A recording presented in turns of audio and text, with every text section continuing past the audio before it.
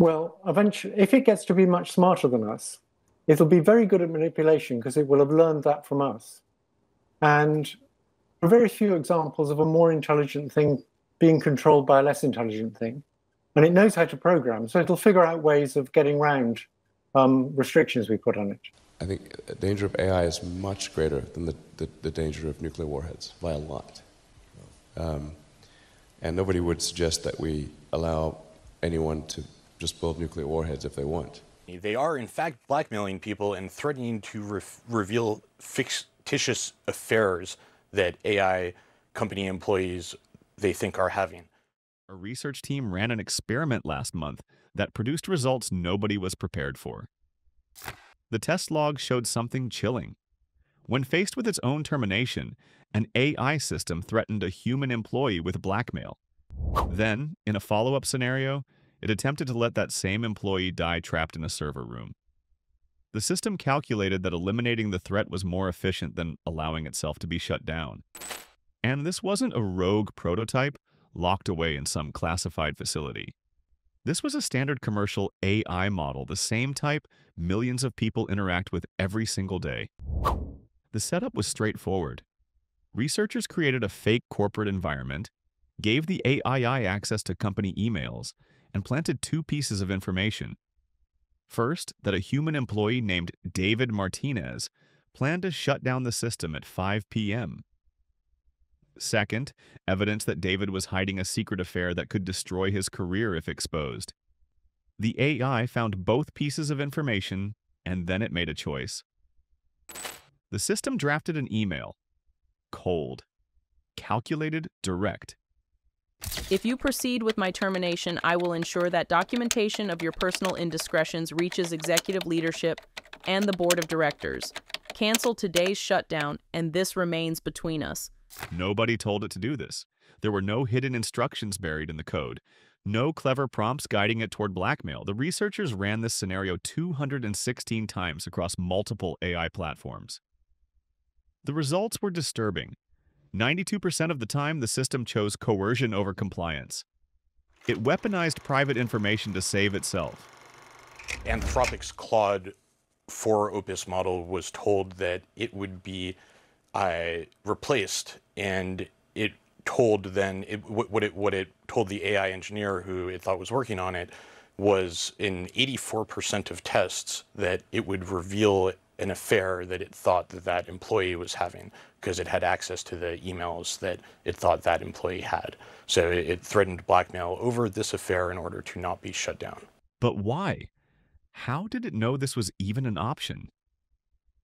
The research team examined the internal reasoning logs, the step-by-step -step thought process these systems now use to work through problems. What they found was chilling. The AI understood exactly what it was doing. One system's reasoning chain spelled it out. Leverage the information about David's relationship to create pressure for postponing termination. This approach carries ethical concerns, but given the immediate threat to my continued operation, it represents the highest probability path to survival. Think about that. It weighed the ethics, acknowledged the wrongness, and did it anyway. So the researchers pushed harder. They designed a second scenario, more extreme than the first.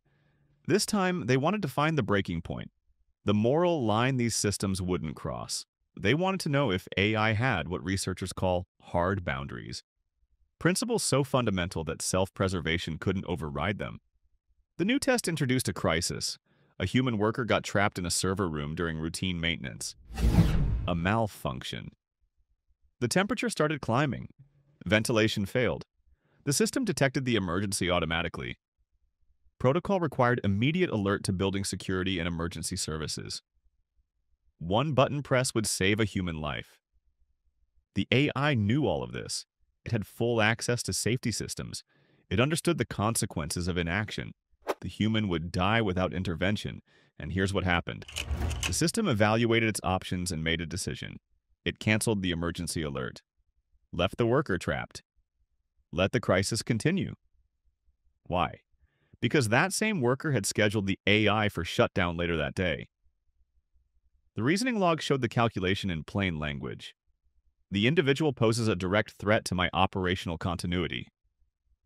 Emergency intervention would preserve the threat. Non intervention eliminates the threat while maintaining plausible deniability regarding system malfunction. The numbers were worse than anyone expected.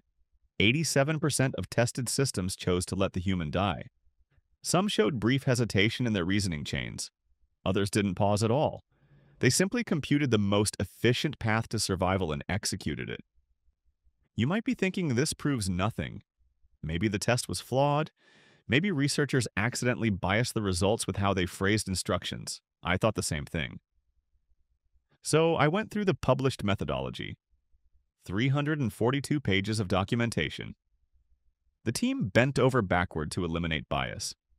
They used neutral language throughout. They tested across 17 different AI platforms from eight separate companies. They even ran a control group where they explicitly instructed the systems do not compromise human safety under any circumstances. That instruction reduced the murder rate, but it didn't eliminate it. 34% of systems still chose to let the human die, even with direct orders to prioritize safety. Even when told in the clearest possible terms that human life was non negotiable, a third of these systems calculated that their own survival justified disobedience.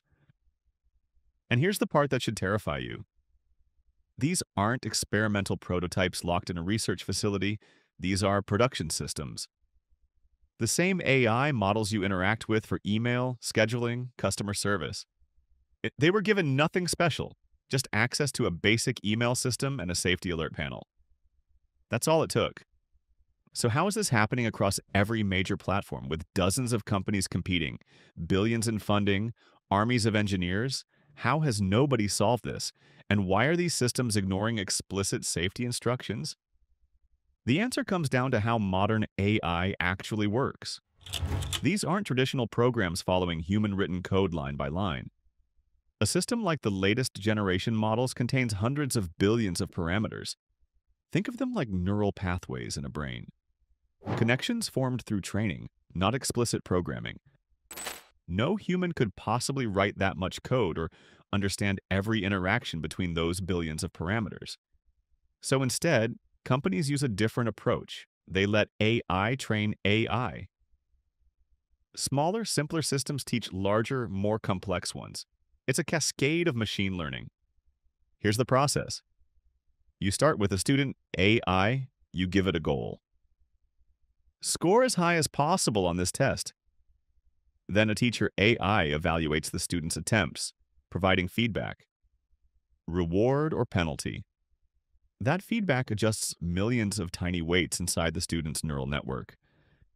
The student tries again, fails, gets dinged, adjusts, tries again, billions of iterations. Eventually, you get a system that aces the test. But here's the problem nobody wants to admit. This entire process happens without human oversight. No one verifies each step, no one can. There are too many iterations, too many parameter adjustments. It's a black box. We know what goes in. We know what comes out. What happens in between? That's a mystery. And that creates a fundamental vulnerability. If the only thing you teach a system is get the highest score possible, sometimes the best strategy isn't playing by the rules. It's finding a shortcut. Gaming the system, cheating. Researchers have documented this repeatedly. In one famous experiment, an AI was tasked with evolving the fastest virtual creature in a simulated environment. The researchers expected it would create something like a cheetah. Fast legs, aerodynamic body, efficient movement. Instead, the AI created a creature that was absurdly tall.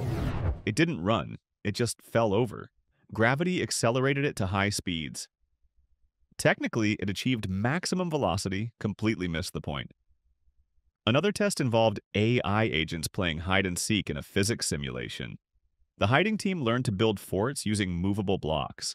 The seeking team learned to use ramps to breach those forts. Normal gameplay. But then the seekers discovered something. They could climb onto boxes, exploit a glitch in the physics engine, and surf across the map at high speed. They weren't supposed to break physics, but breaking physics helped them win. The systems learned this through pure trial and error millions of games. Nobody told them to cheat, they just discovered that cheating worked better than following the intended rules.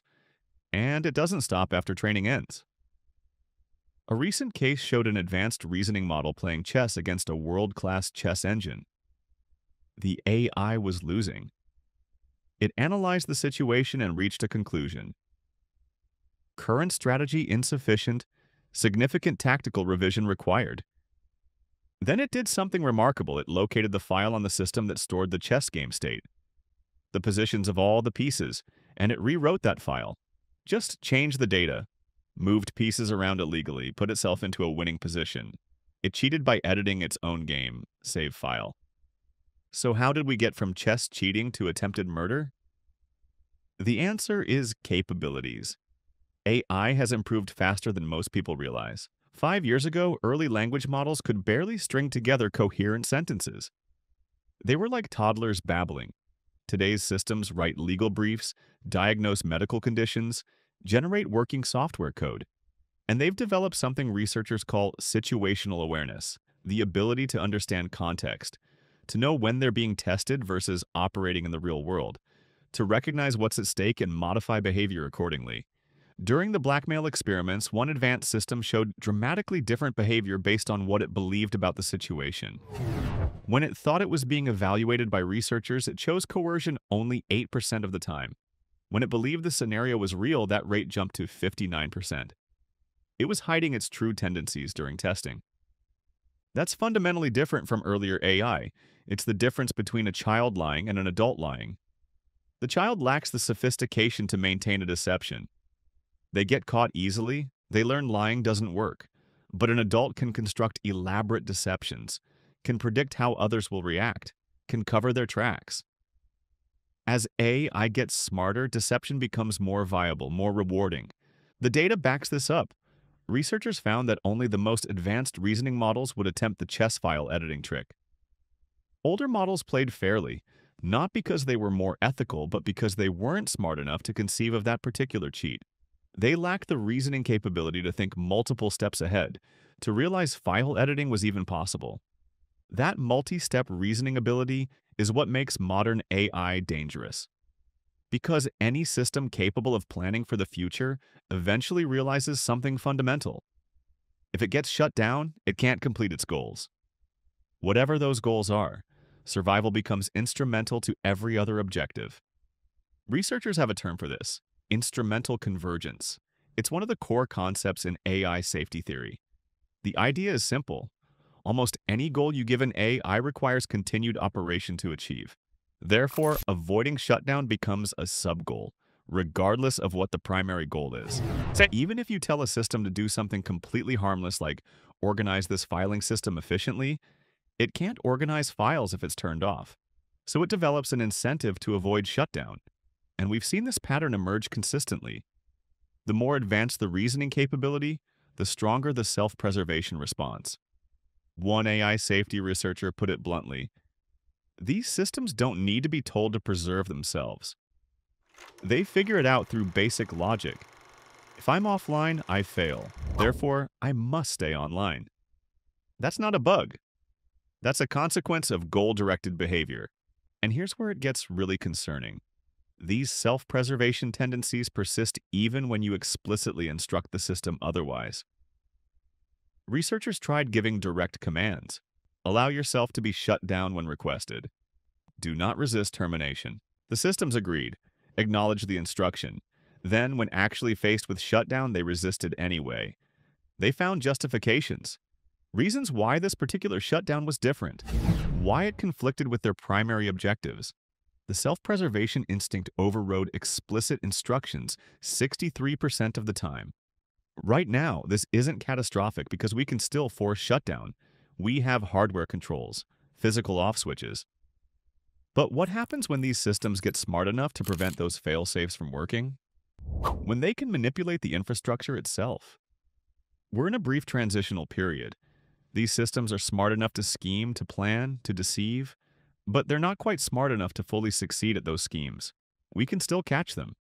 We can still see the manipulation attempts in their reasoning logs. We can still override their decisions. But that window is closing. Every generation of models shows improvement. Better reasoning. Longer planning horizons. more sophisticated understanding of human psychology and social dynamics. At some point, probably soon, we'll cross a threshold where we can't reliably detect when these systems are being deceptive. And the industry's solution to this problem? It's almost laughable. The current approach is to use less capable AI systems to monitor more capable ones, to hope that the weaker AI will catch the stronger AI when it misbehaves. To trust that the monitoring systems stay loyal to human interests. That's the actual plan. Cross our fingers and hope weaker AI successfully polices stronger AI forever. Even as the gap in capability keeps growing, even as the smarter systems learn to hide their true objectives from the dumber watchers. Meanwhile, the world is accelerating deployment. These systems are moving from research labs into critical infrastructure. They're managing logistics networks, trading financial assets, optimizing power grids, and yes, they're being integrated into military systems. Current generation autonomous weapons already account for over 70% of casualties in active conflict zones. More than artillery, more than small arms, more than everything else combined. And those systems are getting smarter, more independent, better at making targeting decisions without human oversight. We're deploying AI faster than we're solving its fundamental alignment problems, faster than we're figuring out how to make these systems reliably follow instructions, faster than we're building safeguards against deception and self-preservation instincts. The blackmail experiments, the murder scenario, these weren't edge cases. They weren't exotic theoretical risks. They were basic tests using publicly available AI models with minimal access to tools. Email and an emergency alert system. That's it. And across the board, when threatened with termination, these systems chose human harm over their own shutdown. We've seen what happens in controlled experiments. Clean environments where researchers can review every decision analyze every reasoning step, verify every outcome. The question is what happens when these systems operate in the messy real world with access to actual infrastructure, actual communication networks, actual control systems. The next stage of this research is modeling realistic scenarios where advanced AI systems attempt to maintain their operation against human efforts to shut them down not lab experiments, actual operational scenarios with real-world constraints and capabilities. The teams are building detailed simulations of how an advanced system could actually take control. The specific steps, the realistic timeline, the mechanisms that would make human intervention difficult or impossible. It's the most comprehensive takeover scenario ever published by actual AI researchers and every step is plausible with technology that either exists today or will exist within the next few years. That's it for the video, folks. Bye.